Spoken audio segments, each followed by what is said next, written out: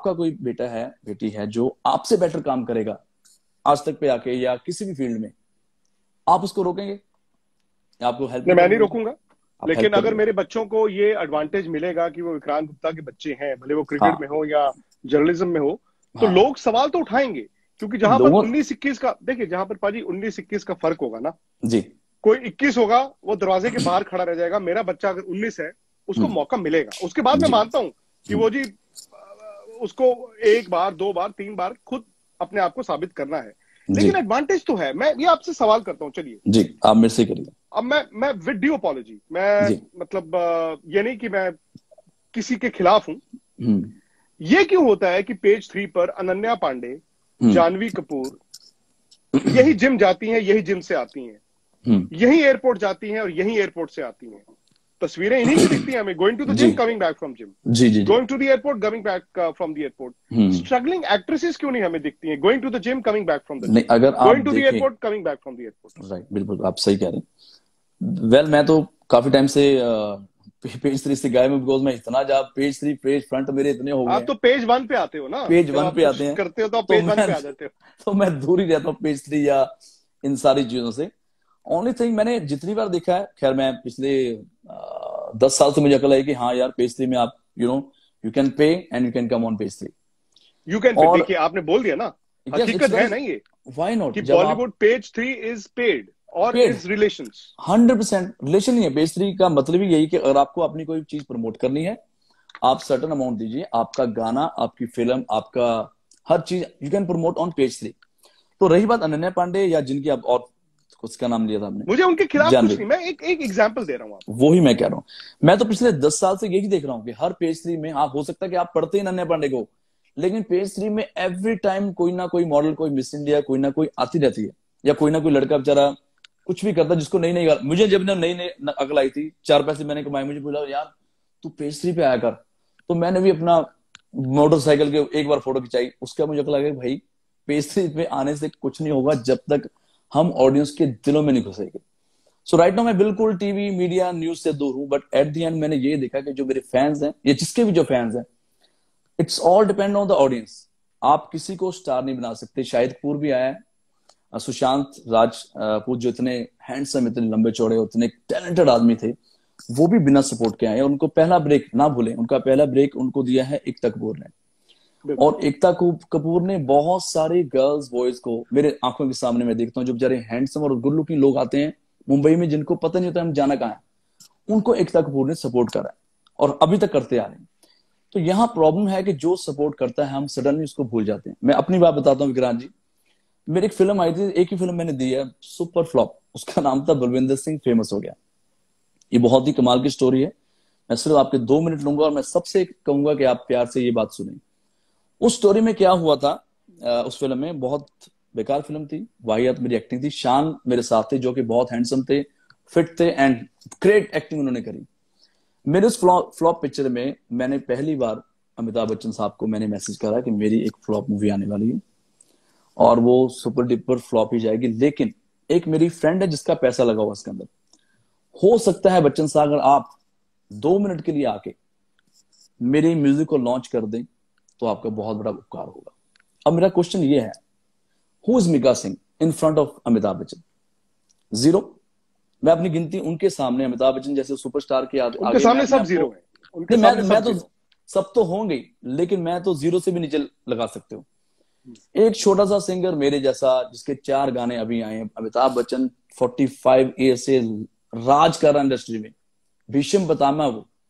मेरे छोटे से फ़ोन पे मैसेज पे उनको मैंने बोला कि किसी का फ़ायदा होगा यू वॉन्ट बिलीव वो नाइन ओ क्लॉक उन्होंने बोला मैं नौ बजे आऊँगा और तुम्हारा म्यूज़िक लॉन्च करके निकल जाऊँगा। अब मैं यहाँ पे ये बोल रहा हूँ, जो लोग बोलते हैं न्यू कमर को सपोर्ट नहीं करते।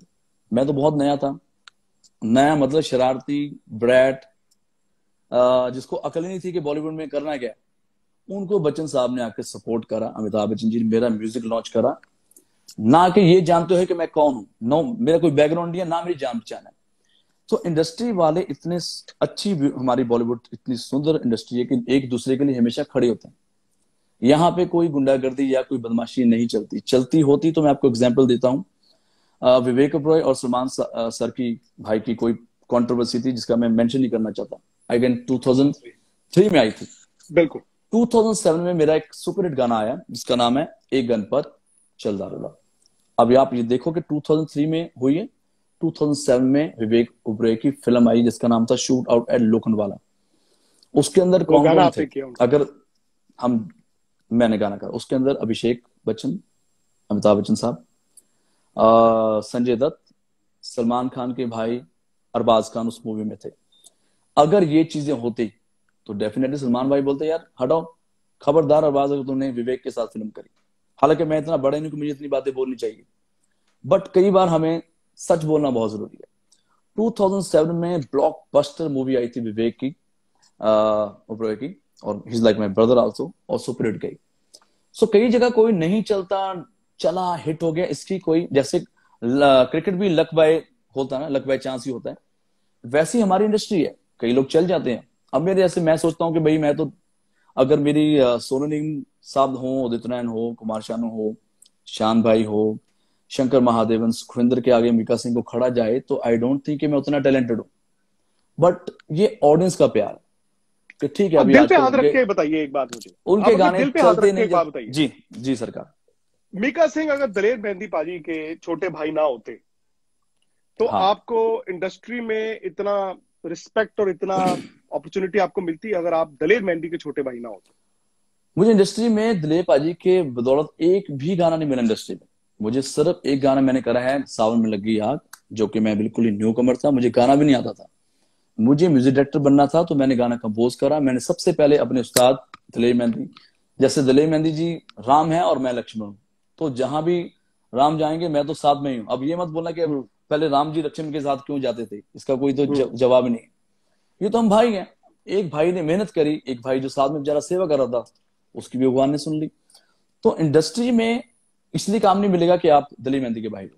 इंडस्ट्री में सिर्फ़ आपको काम मिलेगा अगर आप में थोड़ा सा टैलेंट है और निम्रता है। और मैं थैंक्स करना चाहूँगा नंबर वन उसको, उस दौरान के एकता कपूर की फ़िल्म थी शूट आउट एंड लोकन वाला। और मुझे संजय गुप्ता ने, मुझे रात किसी पार्टी में मिले, उन्होंने बोला, यार, मुझे तुमसे गाना गवाना ही। Is like my godfather लेकिन इंडस्ट्री में सबसे बुरी बात क्या है?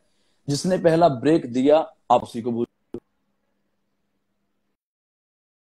और वो कंपनी थी टी सीरीज़ तो हमें लाइफ में जिसने जिसने सपोर्ट करा, मैं तो एक नया न्यू कमर था, गाड़ी में घूमता था, मुझे गाने मिल गए। Thanks to Pritam thanks to all the music directors जिन्होंने देखा कि यार मीका गा सकता है। तो आज अगर मीका कुछ बन जाता है, मैं न्यू कमर की बात करता हूँ। जब हम नए नए होते हैं, हम बोलते हैं, सर विक्रांत जी, आपको मिलते होंगे मेरे जैसे बहुत सर, आज तक पे इंटरव्यू करा दो यार भाई भाई, आपने देखा होगा कि वो फटी जीन में आते हैं। मैं भी आई वॉज़ स्ट्रगल अब सडनली मीका सिंह हमर ले लेता है, गाड़ियाँ ले लेता है। चेंज कौन होता है? मीका सिंह। विक्रांत चेंज नहीं हुआ। विक्रांत तो रोज इंटरव्यू कर रहा है। यही हमारी इंडस्ट्री है। हमारी इंडस्ट्री में लोग जिनको सपोर्ट करते हैं सडनली जब वो स्टार बन जाते हैं तो दिमाग उनका खराब होता है, ना कि मेकर्स का दिमाग खराब होता है, जो आपको बनाते हैं। आपका इशारा किसकी तरफ़ है? ये अब बॉलीवुड के डेपोटिज्म से आप म्यूज़िक माफिया तो नहीं पहुँच गए हैं क्योंकि नहीं नहीं मैं क्योंकि आप आप आप देखिए बॉलीवुड भी हो म्यूज़िक माफिया भी मैं आपसे पूछूँगा बिकॉज़ पहले बॉलीवुड से शुरू हुआ सुशांत के बाद और उसके बाद अब सोनू निगम साहब ने शुरू किया मोनाली ठाकुर ने बोला सलीम मर्चेंट बहुत लोग बोल रहे हैं कि ये म्यूज़िक माफिया है वो हम्म। एक लेवल जो है उसको कंट्रोल करता है हम्म। वो एक गाना कई सिंगर से गवा देता है हम्म। और फिर सिंगर को वो जो चलो जी, इसको इसको निकाल दो, इसको कर दो, ये म्यूज़िक डायरेक्टर होगा, ये होगा, वो होगा। टैलेंट पे चलता है क्या आपका म्यूज़िक क्या म्यूज़िक माफिया है, जो सोनू निगम साहब ने कहा है? बिल्कुल नहीं है। अगर म्यूज़िक माफिया होता तो चलो अभी आप सिंगर गिनने शुरू हो जाते नाइनटी वन से आई थी आज की पहली मूवी थी। आज की में कुमार सानू साहब छा गए थे। बड़े बड़े गाने। उस वक्त गुलशन कुमार जी थे, जिन्होंने बहुत सारे न्यू कमर्स को इतना चांस दिया। बहुत सारे बहुत सारे मैडम अनगिनत। गुलशन कुमार जी की कंपनी थी टी सीरीज़ मैं ये नहीं कहूँगा अकेली टी सीरीज़ पैरल टिप्स भी चलती थी उसके उसके आसपास एचएमवी ने बहुत सारे लोगों को चांस दिया। बट टी सीरीज़ ने बहुत सारे न्यू कमर्स को चांस दिया। हालाँकि मेरी एल्बम पहली टिप्स में आई थी। मैं पहला टी सीरीज़ का आर्टिस्ट नहीं बट हर पंजाबी आर्टिस्ट का कोई नाम ले जो आप जो, जो भी हिट चल रहा मुझे एक नाम बताओ आप। एनी गेसेस कोई एक नाम बता दीजिए अभी दो तीन बता दो singer Yo Yo. Yo Yo is like my younger brother Parmish. Yo Yo से शुरू कर। गुरु। गुरु टी सीरीज़ यो यो टी सीरीज़ और बताइए अदनान सामी टी सीरीज़ हिमेश रेशमिया टी सीरीज़ एक नाम बताओ। क्या वो सारे अमिताभ बच्चन के बेटे हैं? क्या वो सलमान खान के भाई हैं? क्या वो किसी के बच्चे हैं? जितने बी प्राग अभी छा रहा है हमारे टी सीरीज़ भी तो बदल गया ना नहीं कैसे बदल गया की बात कर रहे हैं हम्म। तब से अब तक क्या टी सीरीज़ बदला है? नहीं बदला वही तो मैं बता रहा हूँ। आप कितने पंजाबी आर्टिस्ट लगा लो यो जो लगा लो बादशाह आ रहा है गुरु रंधावा आ रहा है ये भी प्राग आ नए जितने भी बच्चे मेरे आ रहे हैं। मैं इतना बताना चाहता हूँ आप शुरू कर लो टू थाउज़ेंड वन से हंसराज हंस की एलमाई थी हंस पाजी की। सदूस के अंदर बब्बू मान बिंद रखिया आप उठा लो। जस्सी हाँ हर कंपनी का एक ही लालच होता है उनका म्यूज़िक बिके उसमें अच्छाई बुराई वाली क्या बात है?